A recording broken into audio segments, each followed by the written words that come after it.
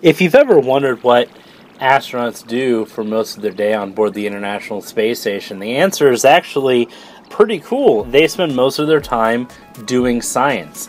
Each of the member nations has their own lab. Uh, each of those laboratories are any number of experiments going on.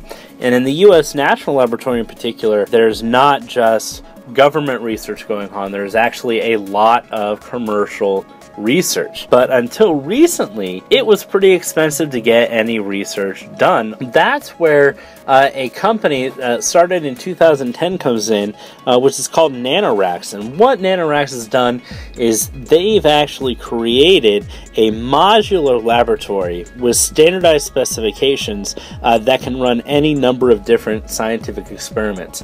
And their most recent piece of equipment that they put on board is a green box with a black and white touchscreen, but it is a microplate reader, which is uh, the workhorse of the biological laboratory world.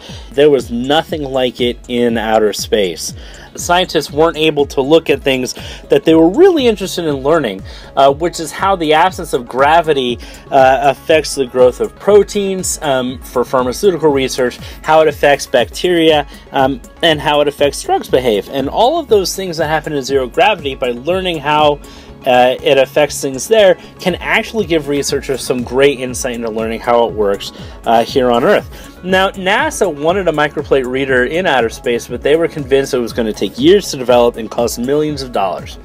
And uh, managing director Jeffrey Manber told NASA that they could do it for less than a million in six months. For just $500,000, uh, was able to retrofit a microplate reader that was available commercially to work in outer space. Not only uh, did they have to tweak the action of the reader uh, to work in zero gravity, they also had to dumb down the user interface so that any astronaut at any given time would be able to use it and not just a biologist uh, who's specially trained to use the equipment. For that $500,000, uh, NanoRacks is going to be charging private companies uh, $60,000 an experiment to run on the International Space Station. At that price uh, is not only affordable uh, for academic institutions and companies, it's also going to turn NanoRacks a tidy profit in short order. In fact, as long as they keep uh, innovating in developing uh, commercial science to be used in outer space, I imagine that they're going to be profitable